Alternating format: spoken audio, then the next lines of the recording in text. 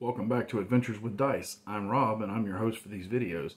And today we're going to be talking again about Old Swords Reign or OSR. Uh, I've got a bunch of these videos on here. There's a playlist. Um, been going through different sections, character creation, spells, equipment, so on and so forth. Um, just kind of breaking the book down, letting you know what's in it. And uh, we're kind of reaching the end of this. We're getting down to the combat treasure, uh, magic items, XP, and um, wilderness exploration, dungeon exploration, that kind of stuff. and I originally intended to do individual videos on all that, but when we get down to some of this last stuff, there's there's not really enough content to do an entire video on each one. So what I did was I took kind of the highlights points uh, of anything I thought was really interesting and I'm just putting it all in this video to give you everything you need to know about OSR that's different from other OSR games or possibly even old school D&D if you're playing that.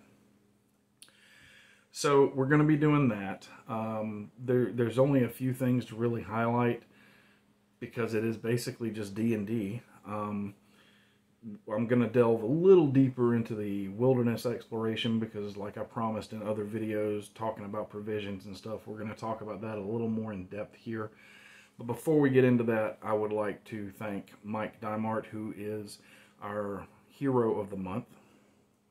And a hero is somebody who has joined the channel. So if you want to join the channel and gain early access to videos and other content and stuff that I put out, there's a link in the description and you can, or you can hit it on the page. There's a join button on the page where you can join Adventures with Dice and be a hero for a dollar a month. You gain access to everything.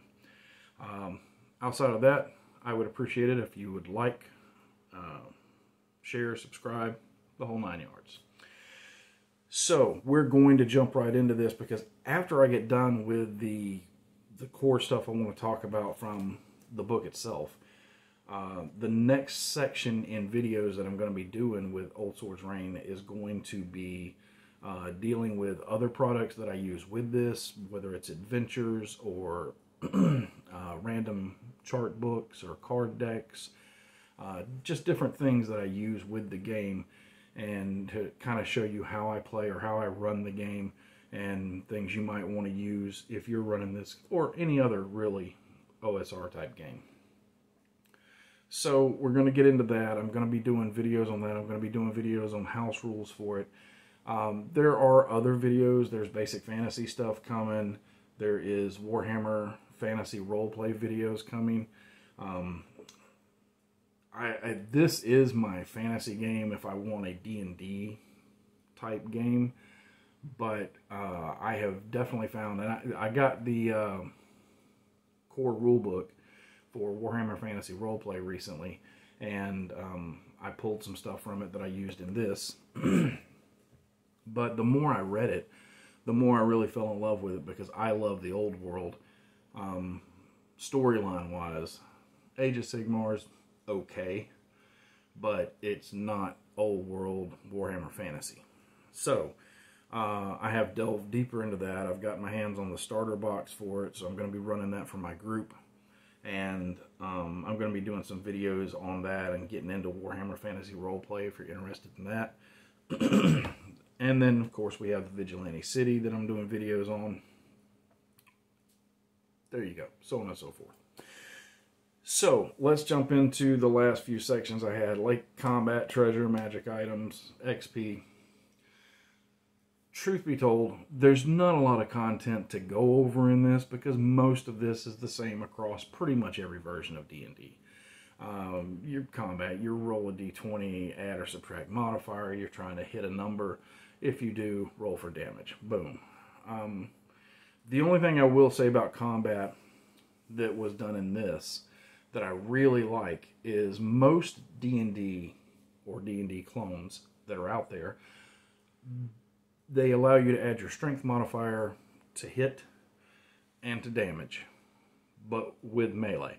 But with ranged, you add your dex modifier to hit, but not to damage. I like adding it to damage, and this game does that. You add your dex modifier to hit and damage with ranged weapons.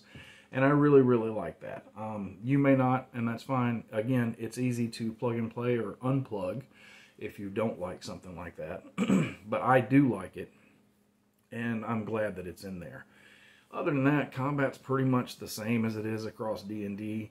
Um, to be honest, treasure and magic items are pretty much your standard fare in this book. Your magic swords and rings and potions and your coinage and, and how you calculate it and, and get handed out, uh, which most most of us DMs are going to do it, you know, our own way anyway. Um, but again, most of that's just standard fare in here, so there's nothing really special to go over. And I'm not knocking it for what because it is what it is. It, it's basic. It's just D and D and basic treasure, basic magic items.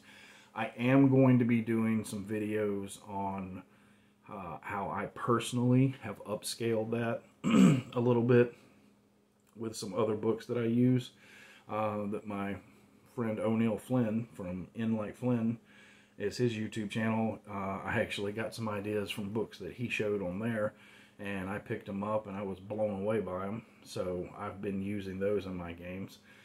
XP is pretty much the same in here across, you know, like D&D, gain your XP points, hit a certain amount, level up.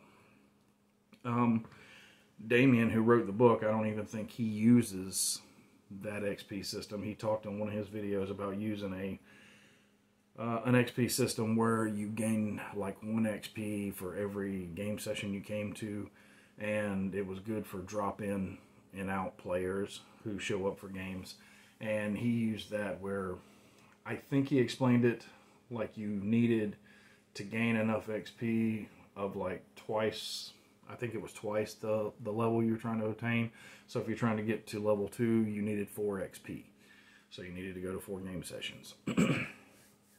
Um, he talks about that in one of his videos, and I may have that a little bit off because I haven't used that. It's similar to the XP system uh, that Bloat Games uses in their games, and, and I really like that. So, uh, not a lot to say there on XP, but there is something that I do want to touch on a little bit and talk about how great I think it is in this system.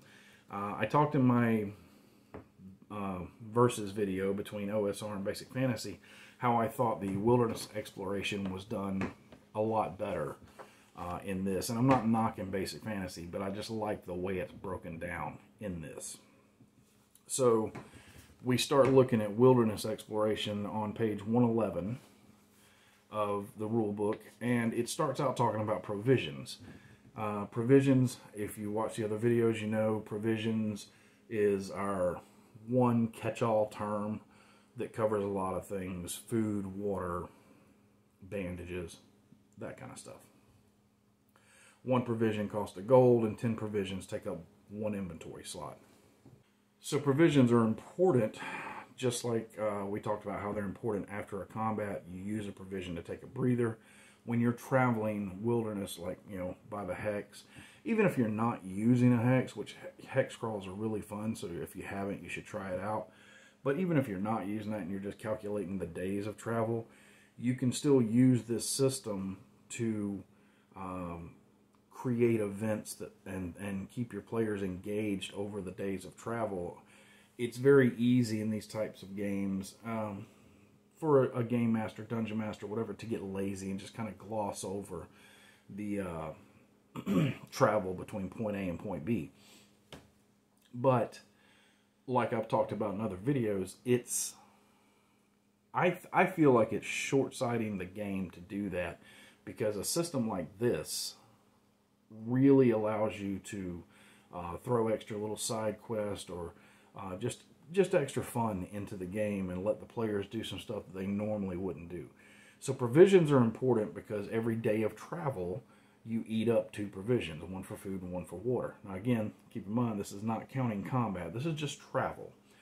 So provisions are important. You can generally just buy provisions in town, but the way travel in an adventure is broken up, and we're on we move to page 113, is that it's broken up by watches. Now there are six four-hour watches in a day, and during each watch, you uh, you your characters can choose different actions to take. Some actions eat up a whole watch. Some actions eat up two watches. And some actions they can just choose to do more than once. Generally, you're going to take two of those watches, which would be eight hours, for rest. So you're left with four watches during the day that you can do stuff with. And during each of these watches, you can ask your players, okay, well, what actions do you want to take? Well, these are the different actions they can take. They can investigate, they can travel, uh, and it, it gives you rules for each one of these, like how long, how, how, how far they can go during a watch, and so on and so forth. Uh, navigating, whoever's leading them.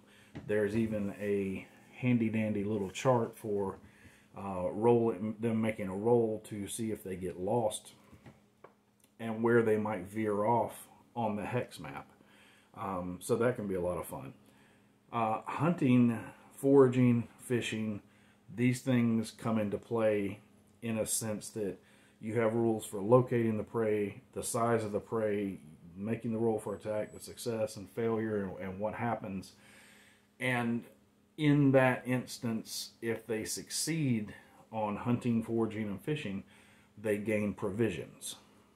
And it tells you how many provisions they get, and then they can split them up with a party. So these are provisions that they don't have to buy, and that's a good thing. It allows them to replenish provisions uh, without having to spend money. Uh, finding water allows them to uh, not have to use a provision for water, so they can cut back on one of the provisions they use per day. Um, then eating, drinking, sleeping, crafting, or repairing items, all of that's in here. And then there's a nice little chart that you can go to that has the terrain. And there's Arctic, coast, desert, forest, grassland, sea, mountain, swamp, swamp, plains, underground, or urban. And then you have the chart goes across and it tells you, you know, the speed, navigation, water, hunting, foraging, fishing, and whether the like with speed, it's the will the speed be slow, normal, fast. Uh, navigation will be normal, hard, easy. That's the kind of roll you have to make to keep from getting lost. And then you know, water, hunting, foraging, fishing. It gives you the difficulty here for the roll. How the depending on the terrain that they're in the kind of roll that they will have to make in order to succeed and gain provisions from this. I just think that's a really, really good system. Um, of course, you also get to add your proficiency bonus to this roll if you are, let's say, you're a ranger type character or a barbarian type character who's used to being out in the wilds, and you're hunting, uh, trying to take down a you know some rabbits or a deer or something to feed the party you can add your proficiency bonus to it because you are accustomed to doing these types of things. And remember, in this game, your background applies that like it is your skills. So anytime that you can apply your background to whatever you're doing, and in this case it would be, you know, hunting that deer, then you get to add that proficiency bonus to it. So that's pretty cool. There's notes on disadvantage or impossible actions and advantage but it's a very very simple system and you might say okay it's it's fun to do once and why would you continue to do it after that? Because it would get kind of stale. Um, not really. You can use this for this opportunity for well number one making it hard for them to find provisions especially if they're running low. Then it becomes a resource driven game where they have to find food and water to stay alive. But you can also use these times where they say, okay, well, I'm taking two watches. We're not traveling. Everybody hanging out at camp. I'm going to go hunt. Okay, well, while this character is off hunting, they can have some type of encounter that, you know, you either planned or did a random encounter or whatever and bring that into the story and boom, you've got a night full of gaming right there just because they went hunting. So there's a lot of opportunity for characters to do things outside of what they would normally do. I cannot tell you how many times in a D&D-ish game uh, it has come down to, okay, well, you guys are uh, ready to you know break for camp. What do you want to do? And it's you know build a fire, eat some food, go to sleep, and nobody puts a whole lot of thought into it. But with a system like this, it allows you to very simply and easily put these different activations or the different actions into their watches. Maybe they got equipment that got damaged and they have to use the craft or repair uh, action during a watch to try to fix something. Maybe the wagon wheel broke on their cart, or maybe a shield got damaged and they need to, you know, redo the straps on the shield. All of that can play into not only are they doing something and feeling more engaged, but it also leads you to while you're doing this this other thing happens and you can bring in some other type it doesn't have to be combat obviously it can be you know other travelers on the road who give them news about something up ahead of them that they haven't encountered yet it's just a very well thought out and very simple system to use to uh, i don't know extrapolate that kind of uh, adventure role playing from them that is not always combat. It, it's them doing other stuff that might lead to combat or adventure or them having to go help a town, so on and so forth. You get the idea. So, that's pretty much it that I wanted to touch on from the base rules. Obviously, I'm going to be coming back and talking about this game quite a bit. I love this game. Um, Damien has the OS Reigns, I think it's osreigns.org. I'll look at the uh, link. I'll try to put the link for it in the video. But there's a forum now where uh, there's different sections on there. I've posted videos in one of the sections, but it's um, it's much smaller, obviously. But the idea is to, to mimic what Basic Fantasy has done with their forums where there's a lot of community driven content that gets put out. Uh, I have several monsters that I want to try. He's put the formula up for uh, putting the monster blocks up there. I have uh, several races that I've converted over to uh, OSR, and I'm going to put those in there. Completely unofficial. You know, they're just there for fun for everybody to use.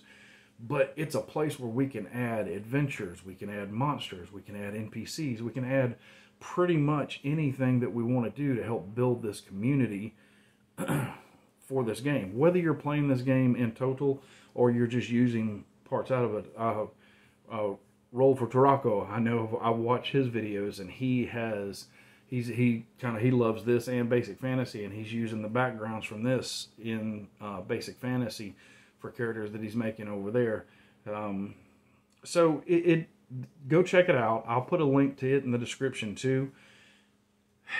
And maybe you'll find stuff that you want to use in your game. There's not a whole lot there right now.